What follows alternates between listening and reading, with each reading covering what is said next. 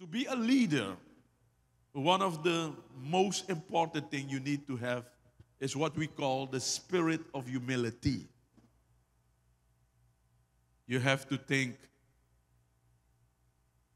less of who you are, less of what you have accomplished. You have to be very modest in the things that you do. Don't talk about yourself. Let people talk about you. The problem that we have to with social media, and I'm even in that mess sometimes, we're trying to promote ourselves so that people would recognize us and would know who we are. But let me tell you, if you are humble and you make sure that you believe what God has spoken about you, and you just do and believe by faith what the Lord has spoken over you, step by step, step by step, you would notice that after some time you will make a name for yourself. The problem that we have, we listen too much to people's opinion. And because we listen too much for people's opinion, we miss our own assignment. It doesn't matter how people think about you.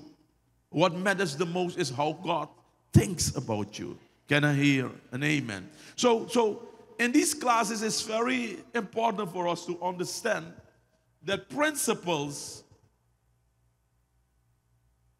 are enduring laws that help us to find the right way to make a decision.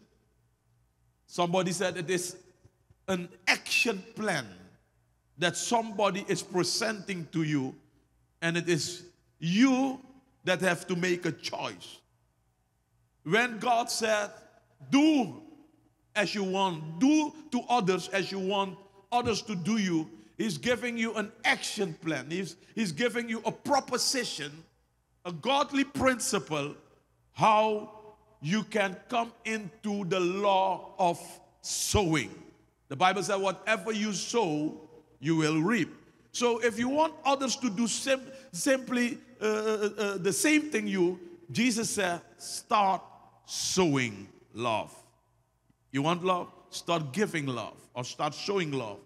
You want others to help you? Help others to bring them into their destination.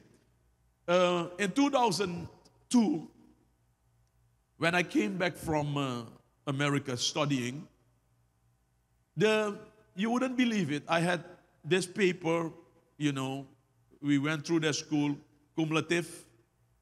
We were at least in the top 25 best uh, uh, marks, you know. So in America, if you're a good, a great student, they will put it for you cum laude. You know, we were not in the top five, but we were at least in the top, I think we were in the top 15. And the Bible says you can have knowledge and boost, and that will lead to your fall. So God told me, I asked God to come back to Suriname, and God told me, You can go back to Suriname. But as long as I do not release you, you don't let them know what you know. You serve your leader. You help your leader to come in his destiny. And while you're helping your leader to come in your destiny, I will make your destiny. So, if Jesus said in Matthew 7 12, do to others as you want others to do to you, one of the first thing as a person you have to see as an assignment, help others to become what God wants them to become. Help them into the destination.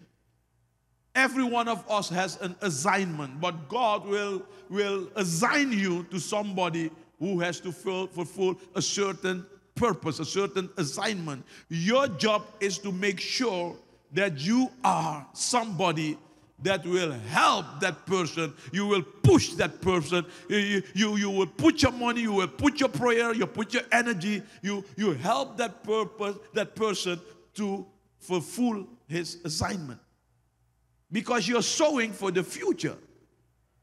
I remember my apostle was building this building in God's River, Begoniastraat.